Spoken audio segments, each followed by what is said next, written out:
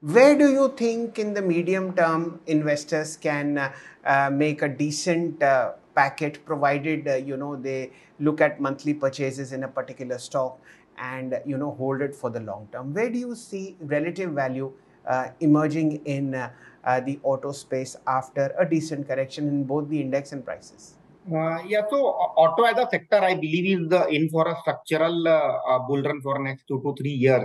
But uh, uh, again, uh, there are many, one can ride this sector through auto OEM as well as auto ancillary.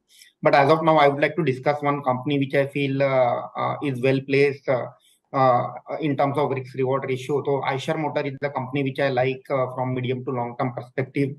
Uh, one of the leading uh, uh, motorcycle player in 250 to 750 cc middleweight motorcycle segment. in addition to that, they have got a commercial vehicle portfolio in association with Volvo.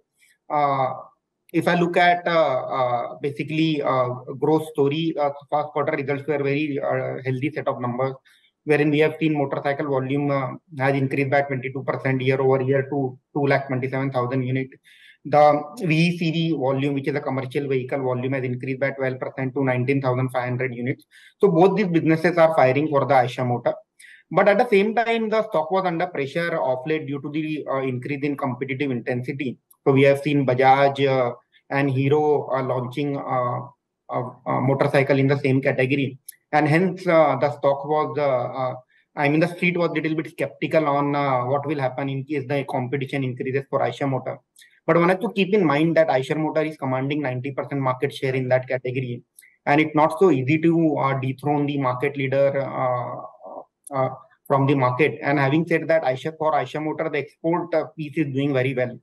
So if I remember, uh, in FY16, uh, export used to contribute 3% of uh, to the top line, around 150 crore top line, 150 crore sales from export business.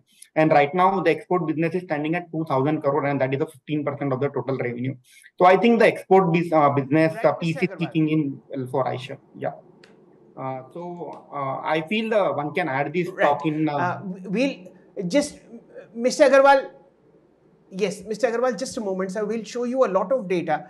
And of course, we'll add this in the SIP format. Uh, the price to earnings for Eicher is about 28%. And here is uh, a couple of interesting data. Uh, the PCR will uh, fire a long-term chart for you.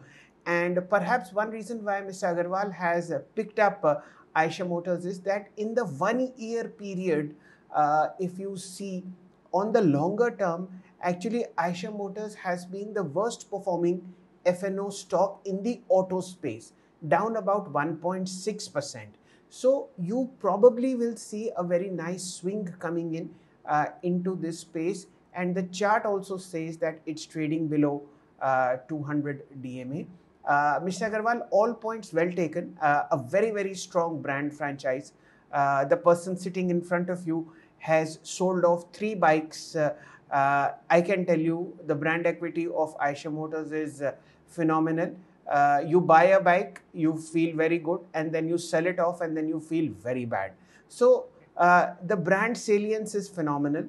And uh, just uh, let me highlight a couple of other market capitalization that you see is about 91,000 crores, and the trailing 12 month earnings is about 3,200 crores uh, revenue is about 15,000 crores. So in terms of margins, the company, uh, because of its brand salience, has a very, very strong command on both uh, the market as well as uh, uh, the buy, uh, you know, buyers such as me. So that's Eicher for you.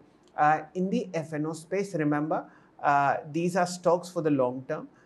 buy the dip, use, you know, monthly purchases one stock, two stock, three stocks if you wish to build up a portfolio in such stocks and then probably look at the medium to long term to see uh, decent gains. So this was uh, from the large cap space, uh, uh Mr. Agrawal.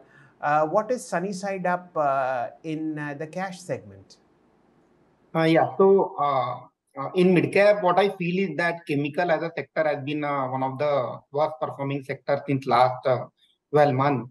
But again, uh, here one company which I like is Archean Chemical Industries Limited, which is the uh, traded in uh, with a top code of ACI.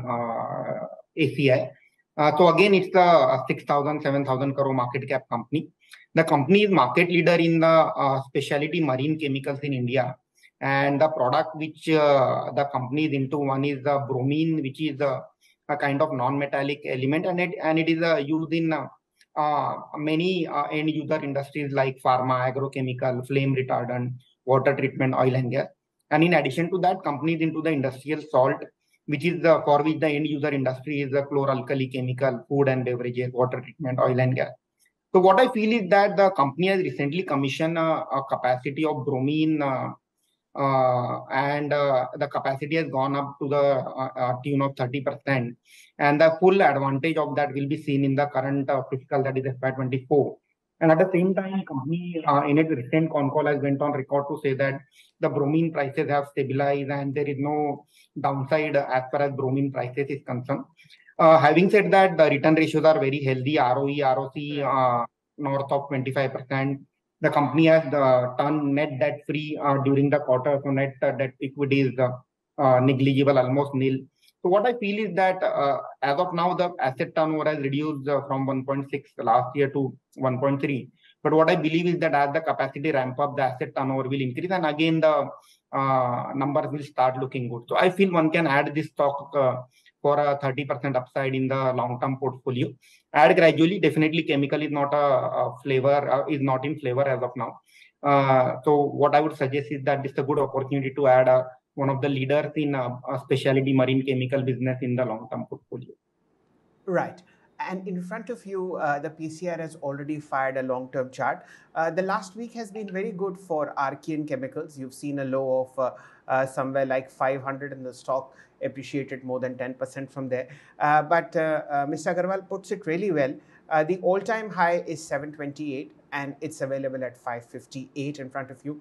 And the most wonderful part is that on a net debt level, uh, Archean Chemicals is almost net debt free, cash of about 242 crores on the balance sheet, and just a total debt of about 22 crore rupees. And what's really good is that the price has corrected sharply. And Mr. Agrawal very rightly mentions uh, that if you look at the peer comparison, uh, the stock offers a relatively uh, lower uh, price point to enter. Price to earnings is just 18. Uh, I'm looking at five other peers where the uh, price to earnings is anywhere between um, 20 to 94. Price to book for Archean is you know 4.5 in the mid zone. the other peer groups have a price to book of you know 1 to 11 so good valuations and the fact that a fresh plant has been commissioned means that both the top line and the uh, revenue uh, and the uh, net profit will uh, improve from here on. If you like the video, do like, comment, share and subscribe.